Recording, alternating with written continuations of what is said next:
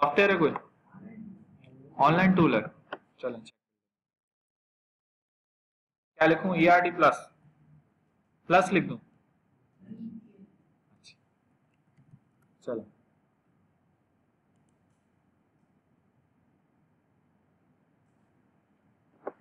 क्या करें भाई? Database modelling relationship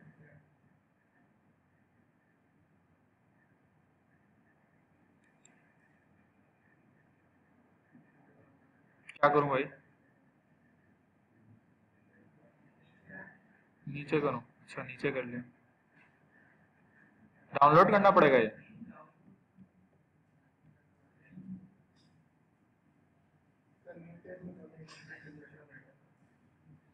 new tab में खोलूं, ये।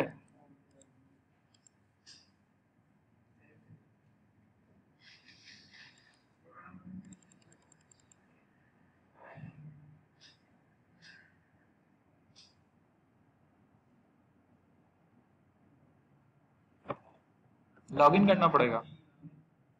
अकाउंट बनाना पड़ेगा। आओ जरा लॉग इन करो तुम्हारा बनाओ अकाउंट।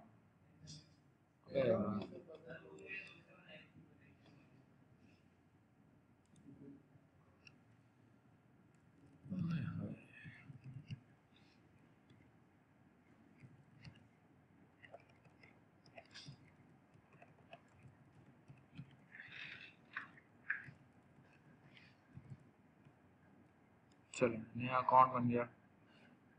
क्या करें? हम लॉगिन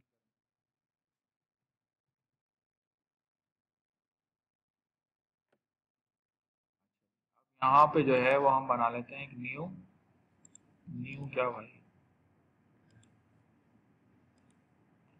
ई आर डायग्राम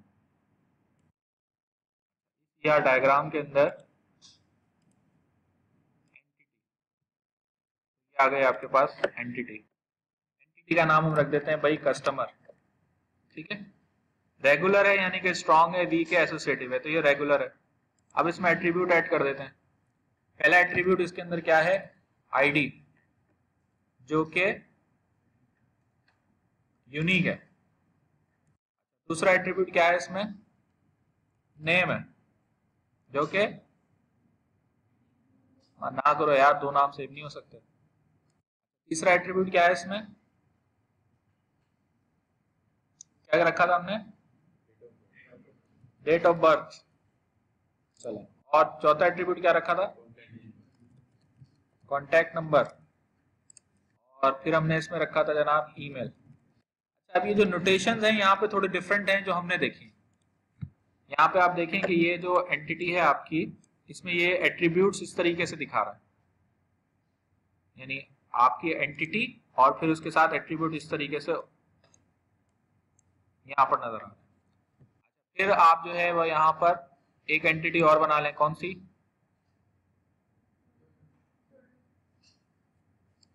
ये आपने बना ली, एक और एंटिटी और एंटिटी का नाम हम रख लें प्रोडक्ट ये भी रेगुलर एंटिटी है। इसमें कौन कौन से एट्रीब्यूट्स हैं? प्रोडक्ट की आईडी है, जो कि यूनिक है। फिर इसके अंदर और कौन कौन से एट्रीब्यूट्स हैं? प्रोडक्ट का नाम है। प्रोडक्ट का प्राइस है।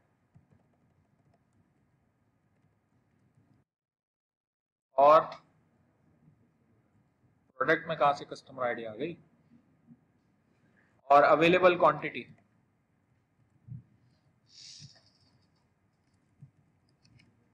ठीक है? चले। ये आपके पास ये एट्रीब्यूट है किसमें प्रोडक्ट में। फिर एक एंटिटी आपने बना ली ऑर्डर के नाम से। रेगुलर है, इसमें आपके पास जनाब ऑर्डर आईडी है, जो कि यूनिक है, और ऑर्डर डेट है, और फिर आपके पास है जनाब कस्टमर आईडी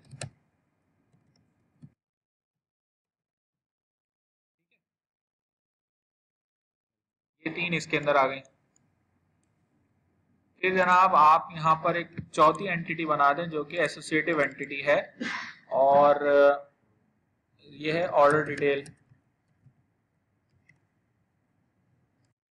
इसमें क्या क्या एट्रीब्यूट है? इसमें है ऑर्डर आईडी प्रोडक्ट आईडी और ऑर्डर क्वांटिटी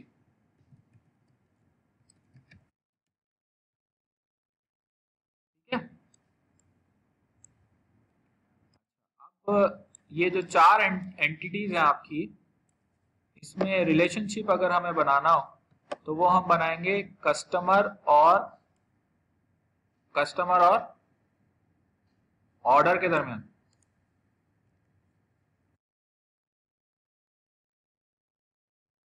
कैसे बनाएँगे भाई? तो भाई ये कस्टमर रिलेशनशिप जो है, वो है कस्टमर और ऑर्डर के दरमियान? अच्छा आइडेंटिफाइंग तो नहीं है। फ़र्स्ट एंटिटी कौन सी है? कस्टमर और सेकंड एंटिटी कौन सी है? ऑर्डर्स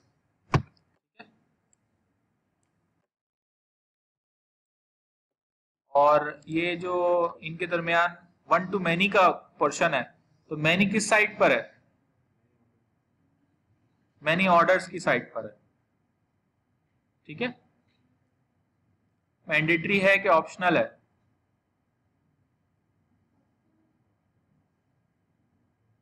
हाँ भाई। देखें, ये कह रहा है कि ऑर्डर की साइट पे अच्छा इधर मैनी कर दें, इधर वन कर दें। अब ये मैनी है कि मैंडेटरी है कि ऑप्शनल है? वो डिपेंड करता है। मैंडेटरी भी हो सकती है और ऑप्शनल भी हो सकती है। तो आप देख रहे हैं वो सिंबल्स वही वाले यूज़ हो रहे हैं। समझ में आ रही बात? ठीक है? अच्छा फिर इसी तरीके से रिलेशनशिप होगा between order detail and orders तो एक रिलेशनशिप हमने ये बना दिया। अब ये जो रिलेशनशिप है, ये between order and order detail है।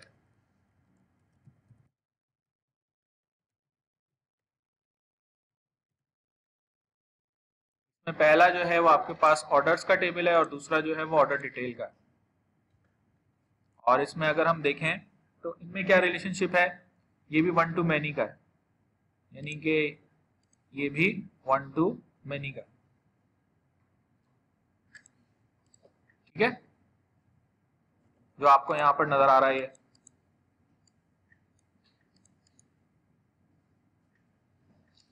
में आ रहा है तुम के? क्या कर रहा हूँ मैं ये? नोटेशंस यहाँ डिफरेंट है जो हमने यूज़ करी थी।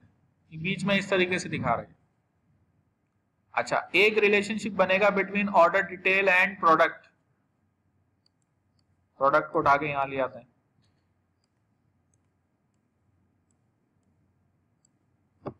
ये रिलेशनशिप यहाँ पर एक और आ गया।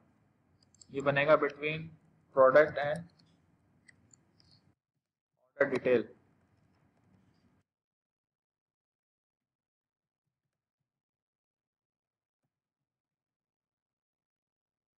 यहाँ पर जो है वो जो एंटिटीज इन्वॉल्व है एक प्रोडक्ट है और एक ऑर्डर डिटेल है और ये वन टू मेनी का इनके दरमियान रिलेशनशिप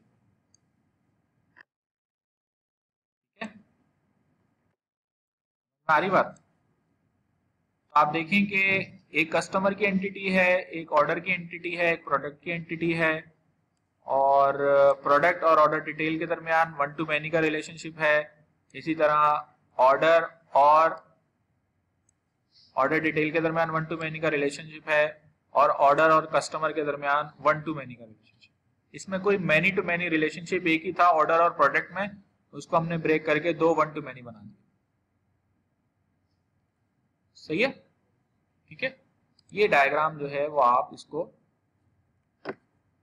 मेरे ख्याल इंपोर्ट कर सकते हैं। मैं खुद पहली दफ़ा इस टूल को यूज़ कर रहा हूँ।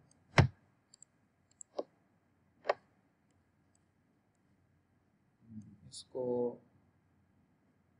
सेव कर लेते हैं, ये हमारे पास फ़ाइल सेव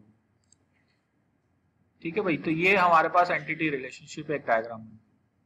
तो बताना आपको सिर्फ़ ये था कि आपसे रिक्वायरमेंट ये है कि आपको अगर ये डायग्राम बनी बनाई दे दी जाए तो आप इसको देख के क्या करें?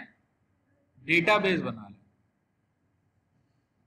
ये बनाना थोड़ा मुश्किल काम है, सोचना, समझना one to many many to one associative primary key foreign key, ये डिसीज़न लेना थोड़ा मुश्किल काम है, उसमें लगता है टाइम लेकिन अगर आपको इस तरह एक बनी बनाई दे दी जाए तो आप क्या कर लें उससे?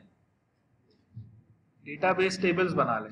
अब आप इसको देख के समझ जाए कि भाई ये एंटिटी है, ये एंटिटी है, ये एंटिटी है, ये एंटिटी है. ये चार टेबल बन गए.